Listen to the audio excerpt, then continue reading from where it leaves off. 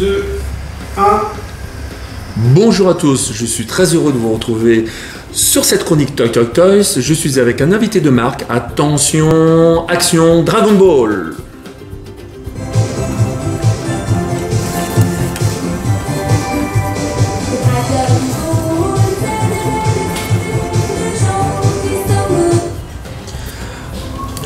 Comme je l'annonçais, je suis en compagnie de Tom. Alors je tenais à vous remercier tous, vous tous, qui nous écoutez régulièrement pour tous vos messages et vos mails sur la chaîne Kidul Conso. Effectivement, vous avez beaucoup apprécié la présence de Tom. Comment tu vas Tom? Bien et toi? Je savais pas que tu avais des fans, que autant de gens m'avaient fait autant de messages en me disant c'est sympa tout ce que tu fais avec Tom. Donc effectivement, Tom c'est mon fils, il me suit depuis un petit moment. Et là, on va parler aujourd'hui de la maquette Dragon Ball Z. Voilà, du fournisseur ID9 qu'on peut retrouver chez nos partenaires à Liège, chez euh, Geekland, à Bruxelles, chez Phoenixu, ou alors à Paris, chez Foxship. Comment tu l'as trouvé cette maquette alors, Dragon Ball Z? Moi je l'ai trouvé, euh, quand je l'ai monté, je l'ai trouvé trop bien. Qu'est-ce qui t'a plu le plus euh, dedans au niveau du montage? Au niveau du montage, c'est dans, par exemple, euh, les jambes et euh, ici, là, c'est... Les antennes Ouais, Le les antennes.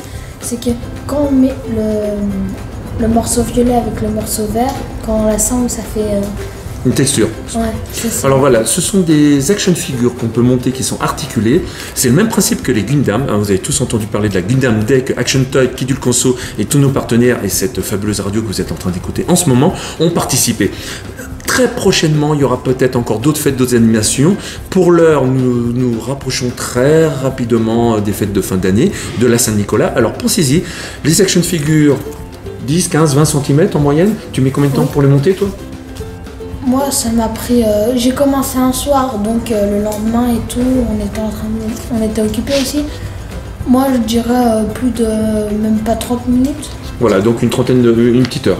Ouais. Une petite heure pour un montage d'une figure Dragon Ball Z. Elles sont très jolies les figurines Dragon Ball Z, non Tu- Voilà, là c'est un méchant.